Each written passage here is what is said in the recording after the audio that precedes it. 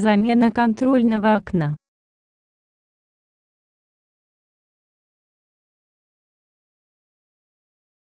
Снимите защитное, а затем контрольное окно котла с помощью тонкой отвертки.